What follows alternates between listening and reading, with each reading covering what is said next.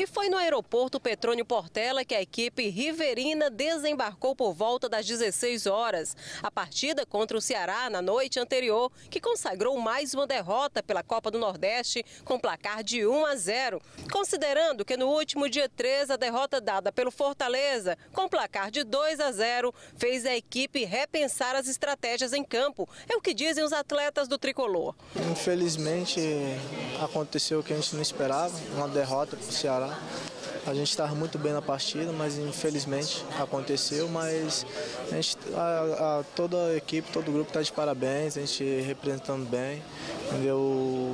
Os jogos que tivemos representando muito bem. Então esperamos aí erguer a cabeça para o estadual aí, entrar bastante forte aí e conseguir esse título aí. Saindo do grupo da morte, composto apenas por equipes favoritas, o River agora vai concentrar esforços para fazer bonito no Campeonato Piauiense, que começa neste sábado. A estreia, que será transmitida ao vivo pela TV Meio Norte, traz o 4 de julho o Flamengo. Já no domingo, o River entra em campo para enfrentar o Caiçara de Campo Maior. A hora é de buscar resultados. Agora é concentrar todas as nossas forças, descansar essa, hoje, né, amanhã aqui e voltar aos treinamentos já focado no Piauiense.